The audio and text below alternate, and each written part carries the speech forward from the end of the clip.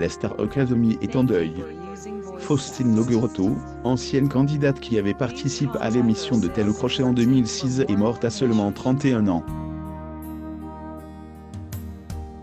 Elle était atteinte d'une maladie auto-immune incurable, le syndrome de Gujarat-Joran.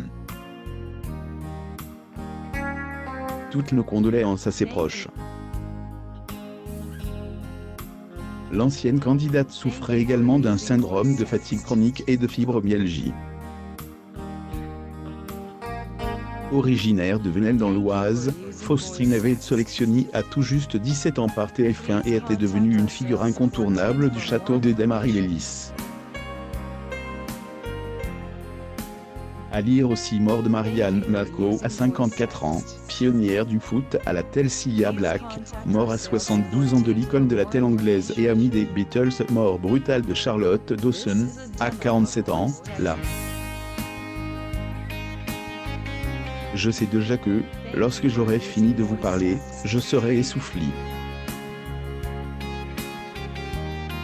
Ce sont aussi des douleurs musculaires. JE ne peut pas descendre les escaliers sans trembler, parfois le simple fait de tenir un verre est insupportable. Le combat est très difficile à mener. J'ai envie de dire aux chercheurs, bougez-vous parce que je ne sais pas comment tenir, et l'avenir me fait peur. L'année suivante en 2016, la jolie blonde avait participé à l'émission N'oubliez pas les paroles présentées par Nagui.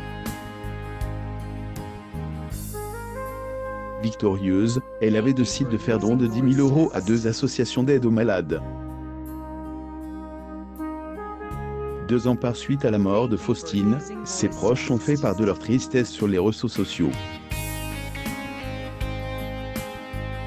La vie est injuste ma sœur avait tout pour elle la beauté la gentillesse une purée dans la voix. Elle souffrait tellement maintenant elle est apaisée. Faustine se battait depuis des années contre la maladie. Toutes mes pensées vont vers sa famille et ses proches. Je n'arrive pas à imaginer que je ne pourrai plus la toucher, la voir et lui parler, c'est un cauchemar qui s'éternise. J'ai tellement de chagrin. Écrit sa sœur Némi. La mère de Beauvais, d'où était originaire Faustine, a tenu à rendre hommage à la jeune femme en écrivant sur Twitter, Faustine Nogoroto, qui a Elle était âgée de seulement 31 ans. Elle nous avait ému avec sa voix pleine de douceur, et nous avait fait vibrer avec ses interprétations durant son aventure télévisuelle.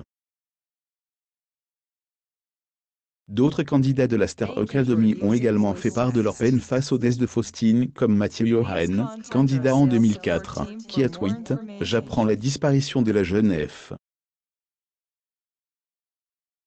Mes pensées s'envolent vers elle et ses proches ou Jean-Luc Guizon, en 2005, qui a écrit « Beaucoup de tristesse pour notre famille Star Academy ». L'animateur Nikos Aliaga également laisse un tendre hommage à Faustine avec quelques mots forts et touchants, c'est une grande tristesse et une grande injustice.